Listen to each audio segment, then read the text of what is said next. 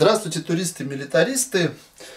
Э, поздравляю всех с наступившим, ну, по крайней мере, у нас здесь в Эстонии, совершенно очевидно наступившим летом. И по факту, ну, давненько, лет 8 точно не было так, чтобы вот действительно хорошо так лето начиналось. Дай бог, чтобы так все и продолжалось, потому что, возможно, я помню, несколько лет назад был случай, когда э, мы ездили на дачу к знакомым на Иванову ночь, а это 23 июня. И у меня Юля была в зимней куртке. Я был в такой утепленной кофте, но я очень хорошо помню этот праздник. Это был реальный дубак. Ладно, поехали. Нож Бушкрафт Сергея Чаванина 12 Knife. И э, сегодня ему не достанется курицы мясо, достанется ветчина. По большому счету особой я разницы не вижу. Давайте посмотрим, что у нас по хлебушку. Мне очень интересно э, в первую очередь его, конечно, потестировать на улице. Ну вот я могу сказать, что хлебушек далеко не все ножи вот так вот разрезают. То есть без вот этой вот пележки, а просто одним движением в один проход. Позвонил мне Сергей вчера, вчера позвонил, такой говорит, ну как там мои 22 градуса э, нуля? имея в виду, что здесь э, сканди в ноль. Я говорю, да непонятно еще, еще не успели мы до улицы добраться. У нас тут то одно, то другое. Ну, говорит, буду ждать новостей. Я говорю, ну хорошо, посмотрим. На самом деле, вот по хлебушку он прошелся прям совершенно так не, невесомо, незаметно. Почистим несколько картофелин. Так вот, несмотря на то, что нож у нас хороший, от хорошего человека, поговорить я предлагаю сегодня о плохом. Поговорить я хочу с вами о предателях. А, и не о тех а, изменниках, которые там а, от Марии Ивановны ушли к Марии Петровне, о конкретных людях, которые предали свою страну, своих товарищей, своих соратников своих подельников, как угодно. Что людьми двигает? На самом деле у меня такое ощущение, что вот это, это называется чистка картофеля силой мысли. Блин, он, он реально, он просто даже... Я не чувствую, у меня немножко э, неровная выходит стружка, потому что вообще нет сопротивления. Просто сопротивление со стороны картофеля. Картофель сдается без какого-либо сопротивления. А, поясню. Ну вот мне интересно, сталкивались вы вот с таким или не сталкивались? Я лично в своей жизни сталкивался неоднократно. То есть э, самый простой пример, это было прям, ну, э, буквально я об этом знаю. Э, были два товарища, они занимались не совсем э, законными делами, ну, будем считать их Петя и Вася. Вот. И в какой-то момент Вася э, прикрыл очень хорошо Петю, взяв всю вину на себя, сел за него, потом через какое-то время вышел, а Петя на самом деле он не стал от этого там законопослушным или еще что-то. Нет, он так и продолжал там воровать, своими делами заниматься. И по происшествии несколько, нескольких лет, когда Вася наш уже был на свободе, а, его искали однажды полицейские. Реально искали а, по подозрению там, в совершении одного преступления. И Петя сам лично пришел, его никто не просил, его никто, ну, как бы, там не то, что там угроза, нет, а, этот вариант вообще не рассматривался пока что. Петя лично пришел к операм и сказал, а я знаю, где мой друг Вася это будет стоить 500 крон. Ну, по тем временам 500 крон это уже были небольшие деньги.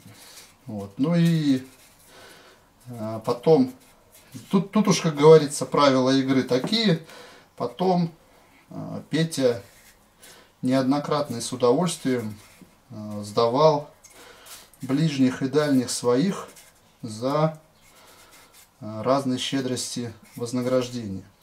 То же самое происходит тюрьмах, например.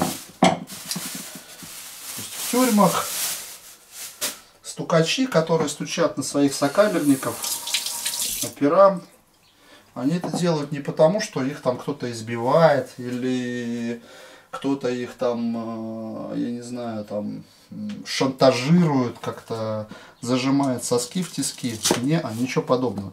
Картофель это просто был какой-то восторг. Я даже, вот честно сказать, я даже немножко ошеломлен, насколько э, нож острый. Посмотрите, какая у нас сегодня луковичка досталась. Ну, знаете, я просто... Это такая луковица для первого цеха называется. Я... Просто у меня одна луковица белого и вот такая же мелкая э, красного. Красный пойдет в салат, а белый я сейчас порежу, а завтра просто э, в омлет его пережарю. Ну так вот, Тюремным опера вообще это пофигу. То есть, если нет какого-то конкретного заказа от полиции, там, или... Причем я уверен, что система, она работает независимо от страны. В Эстонии, в России, где угодно, ну, там, э, в Штатах, в Никарагуа, где угодно. Э, так вот, если нет какого-то именно конкретного заказа от э, там полицейских или от каких-то там спецслужб, никто никому не интересен. Люди стучат на ближних своих из любви к искусству. То есть там, за решеткой, даже не за бабки, даже не за деньги, а просто потому что натура такая. И вот, э, то есть, ну, скажем, э, я примерно себе представляю, что это такое, и я до сих пор для себя вывел, вот не до сих пор для себя, а вот в какой-то момент я для себя сделал вывод, что это действительно какой-то вот извращенный вывих сознания, что это невозможно а, как-то предугадать. То есть очень мизерный шанс, лук то же самое, здесь совершенно идеальные кубики получились и практически не чувствуются, действительно не чувствуются а, того, как идет нарезка. И вот что чувствуется однозначно, это то, что мне нравится камера, на которую я сейчас пишу. И надо мне действительно задумываться над покупкой нормальной камеры, потому что это действительно стоит того. Удобно приблизил, фокус пришел, сразу показал, что и как. Ну вот фокус так и не пришел. Ну да ладно, я думаю, что вы понимаете, о чем разговор. Вот он пришел.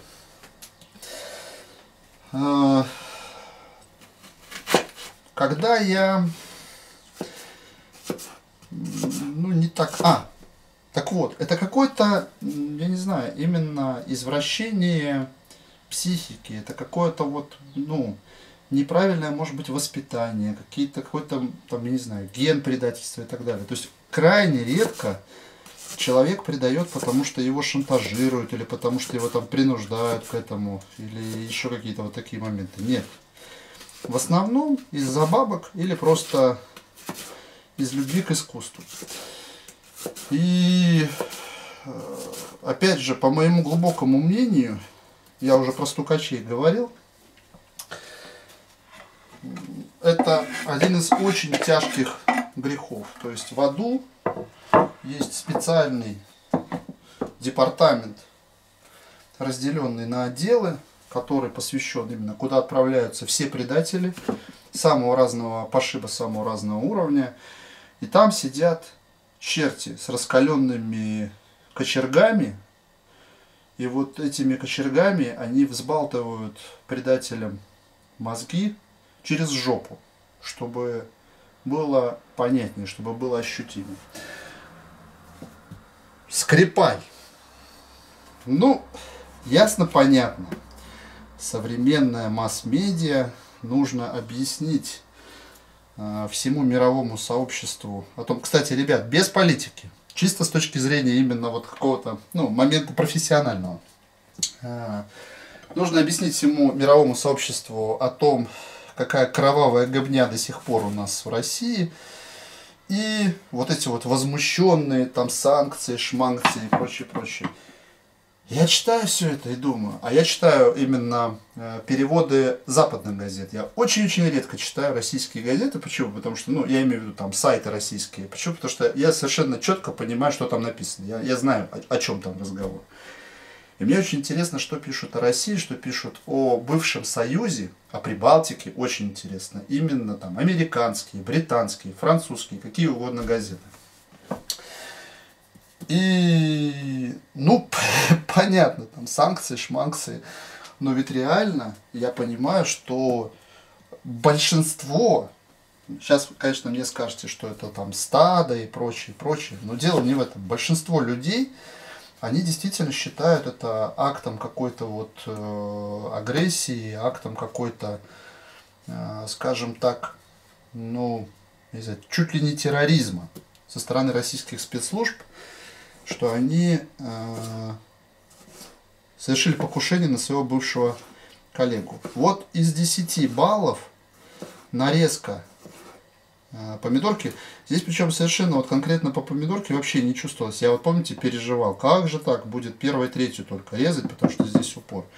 Нет, э, нарезка помидорки, она идет именно... Вот я одну помидоринку нарезал так достаточно ровно и тоненько. И остальные я буду нарезать... Эй, ну ладно, вот. Остальные я буду нарезать покрупнее, потому что мне моя э, драгоценная половинка э, все-таки высказала. Она сказала, что я, во-первых, должен вырезать жопки. Ну, не должен. Она попросила. Она сказала, почему ты не вырезаешь э, жопки из помидоров? Я говорю, так как бы был бы госзаказ, почему бы и нет. Я как-то ровно дышу как к их присутствию, так и к их отсутствию. Я сказала, что слишком уж ты увлекаешься, у тебя э, нарезка помидор, ну просто какие-то вот эти вот ломтики, их потом не собрать на вилку. Поэтому нужно немножко потолще, наверное, нарезать. Так вот, почему обычные люди, обыватели, они просто не могут на секундочку включить мозг и подумать, а что в этом противоестественно? Ну, противоестественного чтобы э, сделал тот же самый Масад, Ми-6, ЦРУ, там, какие, какие угодно спецслужбы с людьми, которые э, предали, которые продали их другим спецслужбам и тем самым, скажем так, ну, вплоть до того, что подвергли риску жизни своих бывших коллег. Какой из этого ну, может быть выход? Какое из этого может быть, какое может быть только решение? Только одно. Правильно, грохнуть предателя. И это совершенно естественно. Почему? Потому что как очень хорошо э, описал в своем замечательном романе «Аквариум» талантливый автор э, по совместительству перебежчик и предатель Родины Резун, он же Виктор Суворов. Вот очень хорошо. Помните первую сцену романа «Аквариум», когда там сжигают предателя в печи. Так вот, так и должно быть. Потому что условия игры такие. Когда ты подписываешься на это, когда ты вступаешь в эту игру, ты должен понимать, что выход только один. Через трубу, правильно, как, как сказал Суворов. Но э, при этом, вы знаете, на самом деле, э, говоря об аквариуме и о Суворове, потрясающе. вот просто потрясающе. Но я, я, не про, я не про Суворова, а про помидоры. Э, действительно, вот эти сканди в ноль я просто не чувствую. Я совершенно не понимаю, чем нож режет. То есть он просто такое ощущение, что я по воздуху клинком вожу не встречает сопротивления от слова совсем. Вот надо не забыть, ну я забуду, конечно, это уже возрастное, но надо бы не забыть после уличного теста попробовать порезать бумажку потоньше. Потому что сейчас у меня просто какие-то, ну я не знаю, просто сверх эмоции от его работы. Это, наверное, чуть ли не самый острый нож, который у меня был на кухонном тесте очень острый. Э, так вот, то есть вызывает удивление другой факт. Э, то, что Скрипаль так долго жил. И если, опять же, следовать э, логике, я не являюсь там каким-то работником спецслужб, но я именно свои рассуждения строю на своем собственном каком-то здравом смысле. Так вот, если он так долго жил после этого предательства, там, после э, своих вот этих всех вещей, и только сейчас, как-то уж совсем в удобное время его грохнули, причем грохнули так э, топорно, что... Или он там... Даже, я не знаю, вот честно говоря, меня этот вопрос не интересует с точки зрения именно конкретно личности вот данного предателя, потому что я даже читал какие-то э, заголовки, что он жив там остался, не жив, неважно. Суть в том, что его должны были убить гораздо раньше и гораздо профессиональнее. И то, что сейчас это сделано, и именно посредством газа новичок и так далее, совершенно четко указывает, что это сделали сами бритиши. Ну, и, и тут э, два варианта. Или он перестал быть полезен бритишам, или, или что, скорее всего, возможно, он все это время, до этого времени, был полезен российской разведке. Звук прям, я думаю, вы слышите. Такой жизнеутверждающий звук раскалываемого огурчика. Не мешает упор, от слова совсем, очень удобный хват. То есть, если у вас этот нож будет с вами где-то на природе, я уже сейчас могу вам сказать, ребят, берегите пальцы, потому что он мега острый. Но опять же, Сергей, как он мне сказал, он э, делает микроподвод э, для того, чтобы кромка была поустойчивей. Защита от дурака, так сказать. Но это я сейчас сказал в шутку, потому что, к сожалению, не все понимают шутки. Так вот, возвращаясь к аквариуму. Весь прикол в том, что я э, прочитал эту книгу. Первая у меня мысль была, опять же, несоответствие.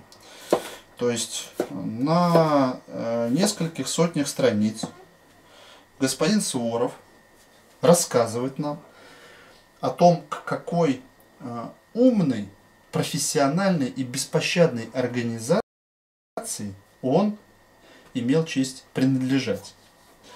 После этого как-то эта организация совершенно полоховски дает ему соскочить. Есть самое главное, что после этого его так умело прячут, что он дает какие-то интервью, конференциях участвует и так далее, и так далее, и при этом продолжает жить.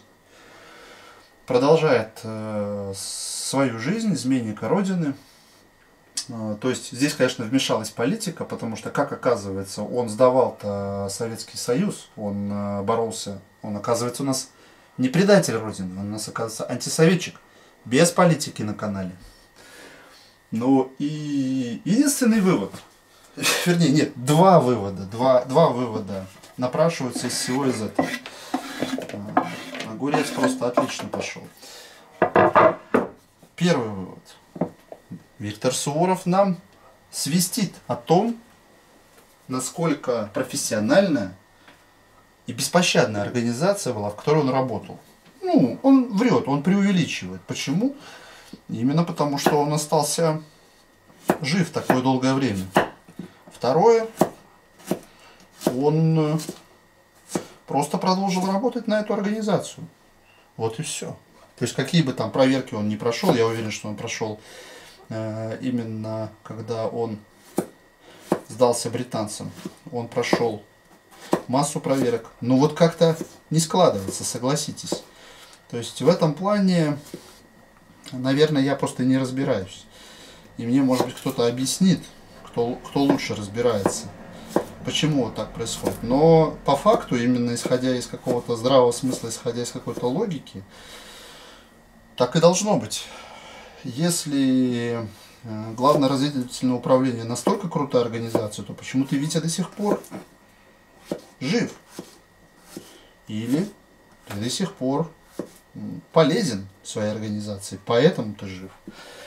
Ну, неважно, на самом деле э, большее предательство гораздо совершили люди, которые опубликовали его.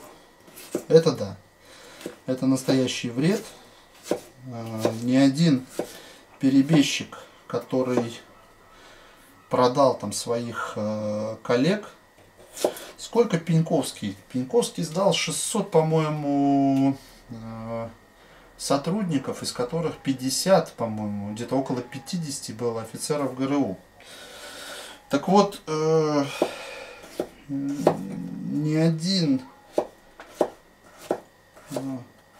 Суворов-Пеньковский не принесет столько вреда, сколько какой-то сраный издатель, который за какие-то вот гроши может опубликовать подобную э, талантливую, надо сказать, но все-таки блевотину. Почему?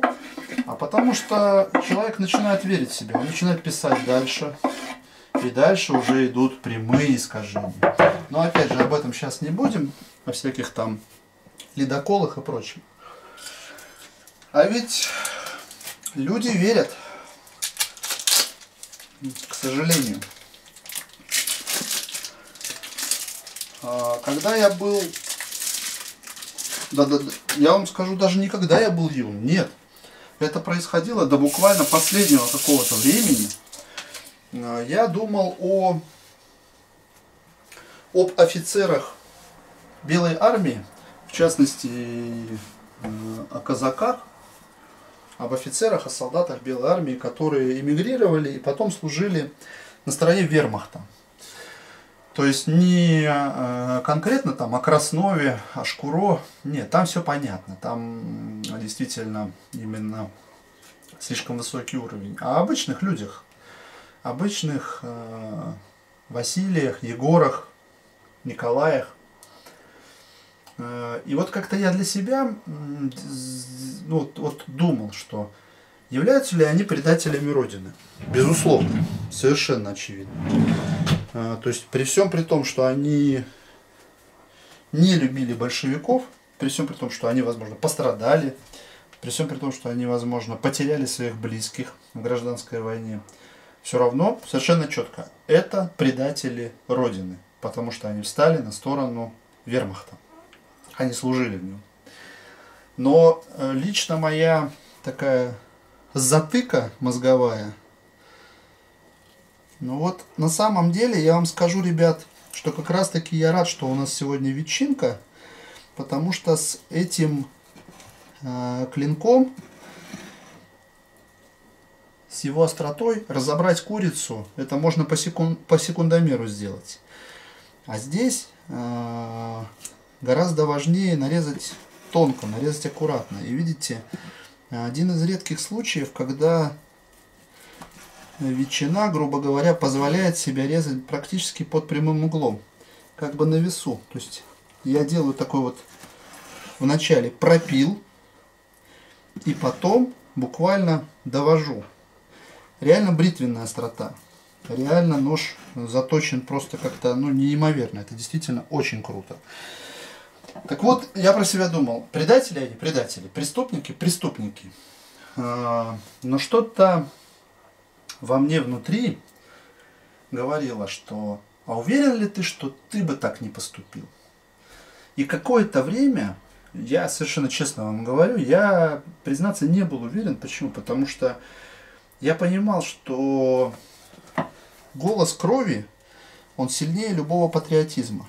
То есть, если у тебя так уж получилось, гражданская война, если у тебя в ходе гражданской войны красные убили э, твоих родных и близких, если в ходе гражданской войны э, пострадала твоя семья, именно пострадала так, знаете, по-крупному, когда действительно терять уже нечего, человек просто один остался то это гораздо, вот голос крови, он гораздо сильнее голос а, нации. Это ближе, потому что. Это почему? Потому что моя родина, это в первую очередь мои дети. Правильно? Это в первую очередь мои родители. Вот это моя родина. А потом уже, ну, про родину сейчас не будем, я об этом неоднократно говорил, а, что родин... мы, мы, по большому счету, наше поколение, а, произнося слово родина, тут очень много есть о чем поговорить. Слушайте, да бесподобно на самом деле. Просто шикарно. При всем при том, что короткий клин, то есть мне явно не хватало, мне приходилось дорезать. И здесь вот с этой стороны явные такие неровности есть. Но в общем и целом хорошая, не толстая нарезка. У меня к этому, кстати говоря, мой э, генерал-адмирал тоже предъявляет те еще требования. Говорит, слушай, ну ты же не со своими пацанами где-то в походе, нарежь нормально колбасы. Говорю, ну, то, что я говорю, это, как правило, так довольно невежливо. Пере, пере, переводя на наш нормальный мужской язык, это очень звучит, очень звучит мило, так и знаете, даже с каким-то сюсюканьем, но переводя на наш язык, это звучит «да нарежь сама». Вот и все.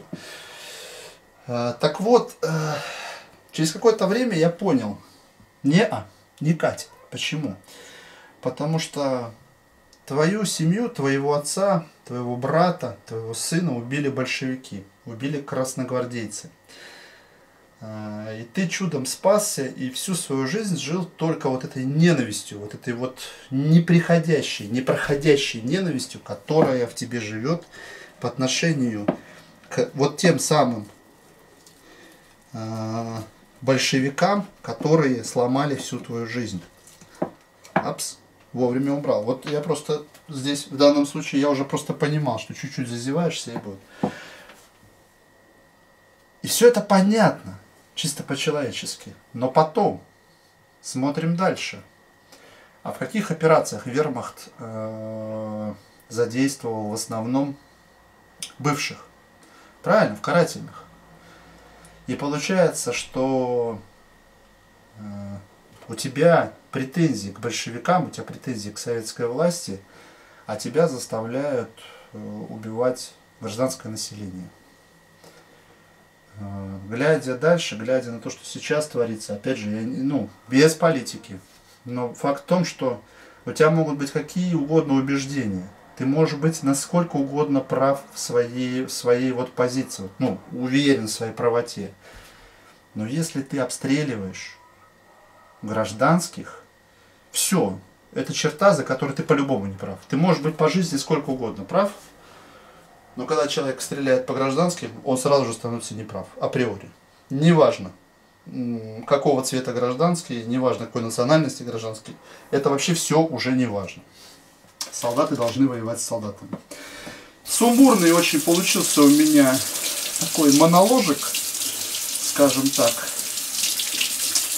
Но э, мне интересно вот какие-то ваши примеры знать. Кстати, вот по ножу, вот буквально за финалю несколько минут, по ножу. Э, даже я, честно сказать, я не успел понять, насколько удобен или неудобен клинок, насколько удобна здесь или неудобная геометрия, потому что он выточен настолько, что это было реально, вот, ну, я просто водил по воздуху и кромсал так, как мне хочется. Это, ну, просто сверхзаточка какая-то. 22 градуса в ноль, Серега, это, это что-то блин, ну что-то невообразимое. И надо сказать, несмотря на всю его увесистость и такую вот э, задумчивость, именно задуманность под э, лес, очень удобный кухонный хват. Вот таким вот образом суперски нарезается. Э, кстати говоря, забыл, когда делал обзор ножа, что его на самом деле можно еще взять при каком-то вот именно потюкивании, вот таким вот образом. Потому что здесь вот этот выход, он задуман именно для этого, для того, чтобы при необходимости у вас в два раза длиннее становится нож, и можно было бы как-то вот э, поработать. То есть все, кого интересовал только нож, на этом мы финалим, потому что действительно я, к сожалению, не понял кухонность ножа, потому что он настолько круто заточен, что у меня просто все разлетелось. И я понимаю, что ну, даже прикольнее то, что была ветчина, чем курица.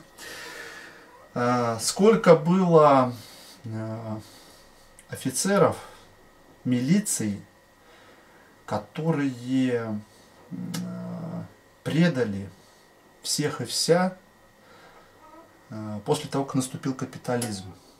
Я сам знаю, опять же, не, не понаслышке, что некий э, полкан, он э, работал в розыске.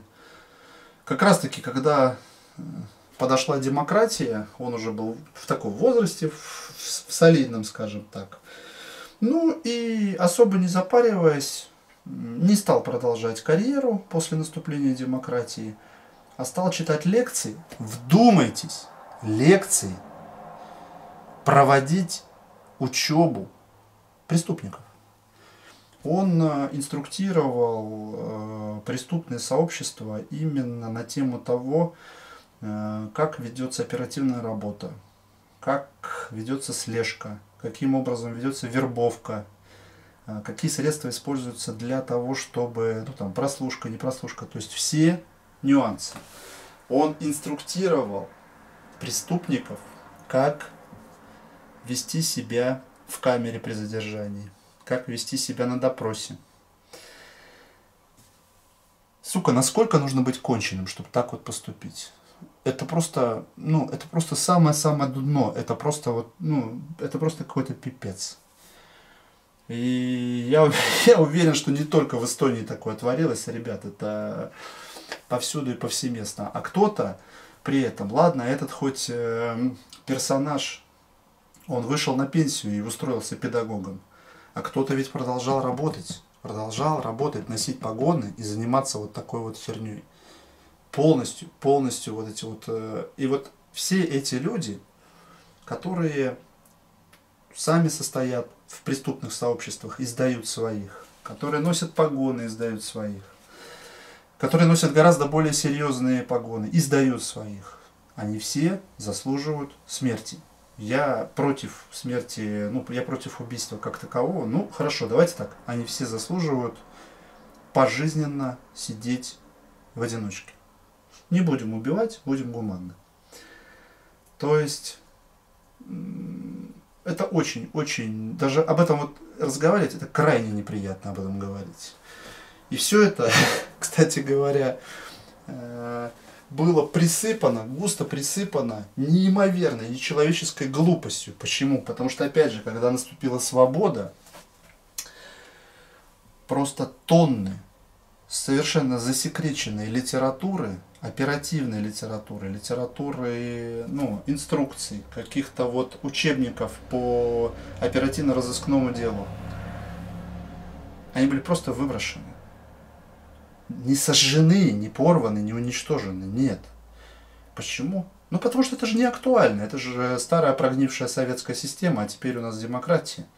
Бля, а схемы-то одни и те же. Они как были во времена египетских фараонов, так и будут, когда марсиане высадятся на Землю. То есть ничего не поменяется.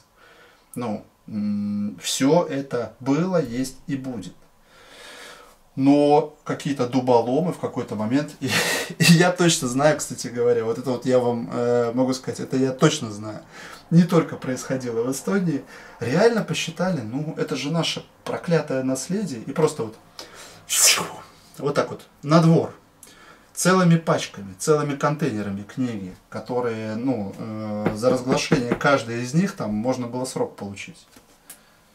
Такая тупость, она просто нереальная какая-то.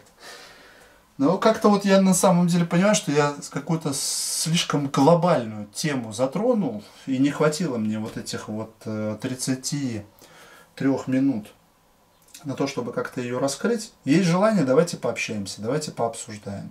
Нет, как, как говорится, вернемся к чему-то более приятному и будем какие-то более, более позитивные темы обсуждать. Спасибо за просмотр. Извиняюсь за сумбур, извиняюсь за то, что я сегодня явно подтупливал. Дело в том, что я категорически не выспанный, но нужно идти делать дела. Увидимся, ребят.